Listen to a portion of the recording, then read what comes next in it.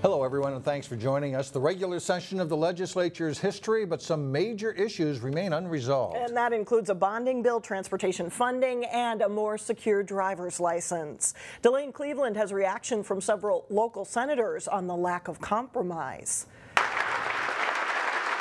On the final day of the legislative session, senators packed into the Senate chambers to say goodbye to their retiring colleagues. That's when we put on our happy faces and uh, forget all of the entanglements and debate. It's a happy moment in a day filled with finger pointing over the fact that the session ended with unfinished business. It would have been nice to have had these matters worked out in enough time for all of us to, you know, conclude in an orderly fashion. Lawmakers failed to meet Sunday night's deadline to pass a transportation bill and a bonding bill which pays for construction projects. There were over $700 million of needed road and bridge repair and rebuilding costs in this bonding bill. Repairs that, for now at least, will be put on hold. And much of it comes down to the DFLers' desire to secure a funding provision for the Southwest Light Rail line in the bonding package. It's been a very clear message to the House uh, that uh, light rail was critical for this year or we would lose almost $900 million in federal funding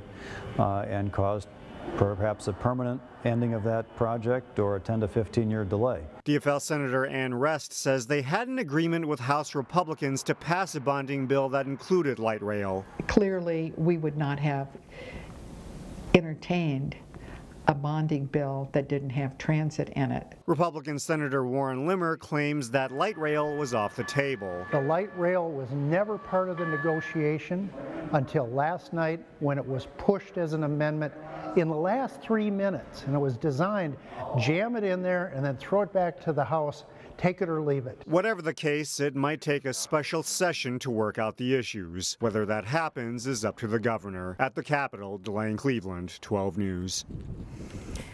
The legislature did pass legislation that spends more on early childhood education, a tax bill with $260 million in tax cuts.